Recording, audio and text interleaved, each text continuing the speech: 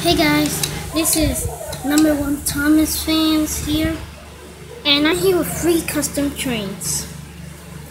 Let's start with Rosie. Now this Rosie, I'm just an next lady because I don't, I don't have lady, and I got her some white Play-Doh in front, and the yellow little yellow thing in, on the buffers is that I painted the buffers golden, but for some strange reason they went off and I'll paint them again.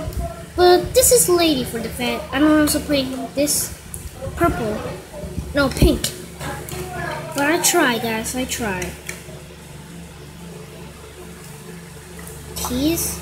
You see me Thomas. I put some a bit of a black in the front on the back. I'll put some white in front, white Play-Doh in front and I I know you can and I know you can't see it but I painted a bit green on the sides but I'll paint it green next time if I can. I also paint green on the side rods yep. and here's Samson. I put some white Play-Doh in front.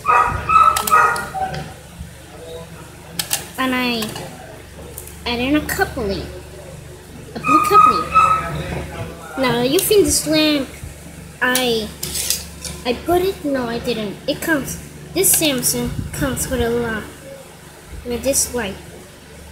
So Samson looks perfect.